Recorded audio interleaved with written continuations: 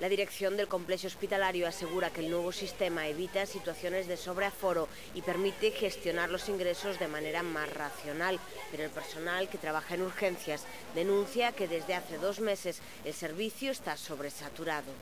E non é porque haxe un repunte de gripe ni de outras enfermedades como pasan outros anos, senón é simplemente por a política que está esta xerencia facendo esta xerencia a negarse a facer ingresos nas plantas para maquillar as súas estadísticas de que as plantas e as camas están baleiras eh, o que fai é que non ingresa os pacientes. Os pacientes poden pasar de 48 hasta 72 horas en urxencias, volven para a súa casa, en moitos casos o seguinte día volven, pero esos non son ingresos.